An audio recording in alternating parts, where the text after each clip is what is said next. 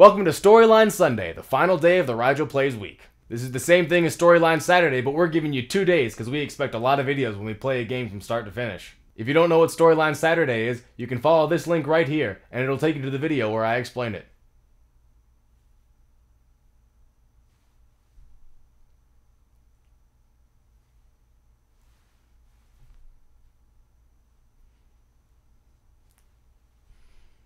Click it.